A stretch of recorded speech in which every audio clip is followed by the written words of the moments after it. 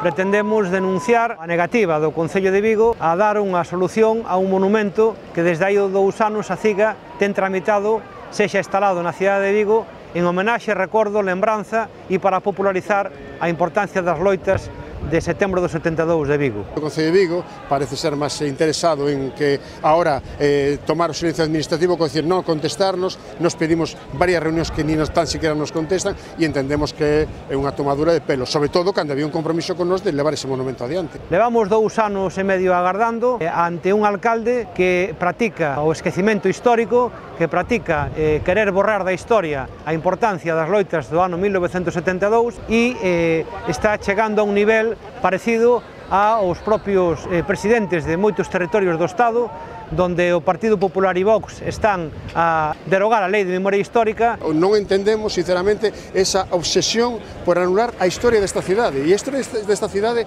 é unha historia de movimento obreiro, de industria e de loita. E hai que dicer que hoxe, 26 de setembro, eh, fai 52 anos que finalizaban estas loitas de setembro do 72 no seu momento máis álxido e desde ese día a cidade de Vigo, como Galiza, ten pendente eh, con un monumento como sí que existe en Ferrol para conmemorar o 10 de marzo, ten a cidade de Vigo, ten Galiza pendente recoñecer estas loitas por a importancia que teñen significado e porque hai que popularizar donde vimos para saber onde estamos e onde camiñamos.